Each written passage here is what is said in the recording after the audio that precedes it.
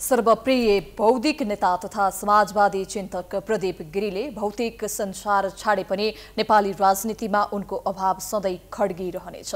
इमान्दार सादगी र प्रष्ट वक्ता गिरीले नेपालको प्रजातान्त्रिक तथा समाजवादी आन्दोलनमा अमूल्य योगदान पुर्याएका छन्। सम्पन्न परिवारमा जन्मिएको भए पनि सरल मिलनसार गान्धीवादी नेतागिरी नेपालको राजनीतिमा सधैँ स्मरणीय रहने नेताहरूले बताएका छन्। एक रिपोर्ट कुन बेला के बोल्नुभयो भन्ने कुरा एउटा कुरा हो।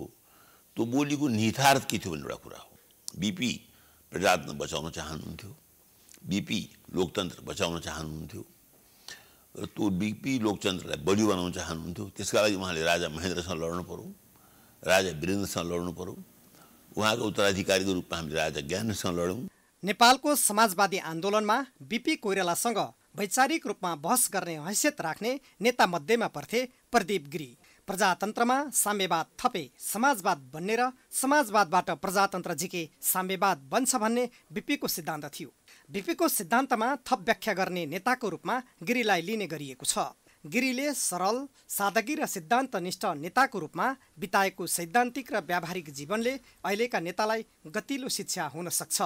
सिद्धान्तनिष्ठ र विचारको राजनीति गर्नेहरू प्रधानमन्त्री मन्त्री नभए पनि तथा कार्यकारी भूमिकामा नरहे पनि समाजले सधैँ स्मरण गरिरहने पात्र बनेका छन्। गिरी अहिलेको भड्किलो राजनीतिक जीवनशैलीलाई चुनौती दिँदै सरल सादगी इमान्दार भएर पनि समाज परिवर्तन गर्न अग्रसर हुन सकिन्छ र इतिहासमा नाम रच्न सकिन्छ भन्ने उदाहरण प्रदीप गिरीले दिएका छन्। धराडे परिवारमा जन्मिएर पनि तडक भडक पूर्ण नभई सामान्य जीवन बिताउन सकिन्छ भन्ने अर्को उदाहरणको रूपमा प्रदीप गिरीको सरल र सादगीपनलाई लिन सकिन्छ।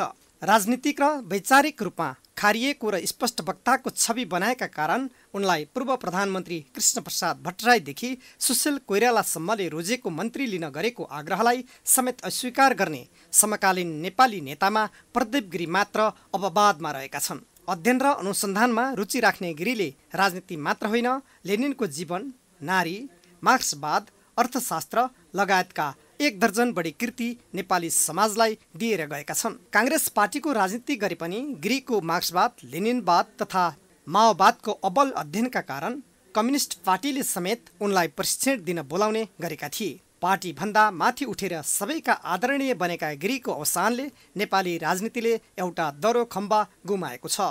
गिरीको प्रेरणाबाट समाज र राजनीतिले धेरै सिक्ने कुरा बाँकी रहेको नेताहरू नै बताउँछन्। मानव जीवनको जुन अर्थ हो त्यो अर्थलाई सेवाको भावनालाई सबैले ग्रहण गरेर उहाँका विचार र उहाँको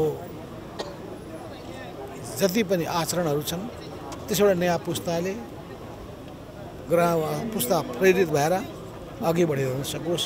यो नै प्रदीप गिरीप्रति सच्चा श्रद्धाञ्जली हुनेछ। प्रदीप गिरी वास्तवमा एउटा नेपाली राजनीतिकै त्यस्तो बौद्धिक व्यक्तित्व हो जसले आफूसँग भएको ज्ञानलाई चाहिँ नि समाजलाई दिन सक्ने। उहाँ एउटा फेरि समान्तको पक्षपाती पनि हुनुहुन्थ्यो। समाजवादी नेता। वास्तव भन्नुपर्दाखेरि बिपीको अनुयायी। त्यसैले हामीले सच्चा बिपीको अनुयायी हुनुहुन्थ्यो भनेर पनि स्मरण गर्न सक्छौँ। अर्थशास्त्र र दर्शनशास्त्रमा स्नातकोत्तर गरेका गिरी अध्ययनशीलता र बौद्धिकताको प्रचुर क्षमताले गर्दा विरलै संसदमा बोल्ने उनले के बोल्लान् भनेर प्रतिनिधि सभाका अधिकांश सदस्य धैर्य गरेर बसेका हुन्थे। उनको बिजोड प्रस्तुतिले नेपालको संसदको ध्यान खिच्ने गरेको थियो। सरल मिलनसार गान्धीवादी नेता गिरीको अभाव नेपाली समाजमा खड्किरहनेछ। उहाँको अध्ययनशीलता नै हो मुख्य कुरा।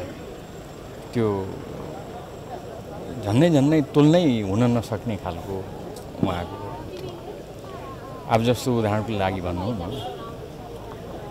मार्क्सवादमा मार्क्सवादको सन्दर्भमा उहाँको यति राम्रो अध्ययन थियो यति गहिरो अध्ययन थियो। प्रत्येक विषयमा उहाँको गहिरो अध्ययन थियो र पार्लियामेन्टमा कहिलेकाहीँ बोल्न आइपुग्नुहुन्थ्यो।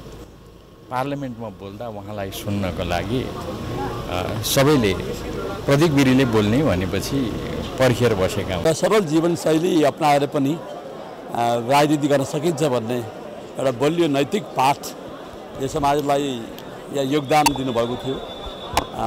यो अहिलेको वर्तमान पिँढी र भावी पिँढीले पनि उहाँको योगदान उहाँको जीवनशैलीलाई स्मरण गर्दै हामीले राजनीतिलाई कसरी बुझ्ने समाजलाई कसरी बुझ्ने भन्ने बारेमा उहाँबाट हामीले हाम्रो अहिलेको वर्तमान पिँढी र भावी पिँढीले महत्त्वपूर्ण शिक्षाहरू लिन सक्छ। महात्मा गान्धी डाक्टर राम मनोहर लोहिया जयप्रकाश नारायण तथा बाल गङ्गाधर तिलकको प्रभाव परेका गिरीले गान्धी लोहिया र नारायणको जस्तो सरल सादगी तथा सिद्धान्तनिष्ठ नेताको रूपमा आफूलाई स्थापित गर्न सफल भए। कम्युनिस्टलाई मार्क्सवाद पढाउने निष्ठाको सगरमाथा मानिने गिरीको अवसानले काङ्ग्रेसले मात्रै होइन देशले साँच्चै पथ प्रदर्शक गुमाएको छ। प्राइम टाइम एसडीका लागि क्यामेरामा भास्कर भट्टाचार्यका साथ हेमराज खड्का काठमाडौँ।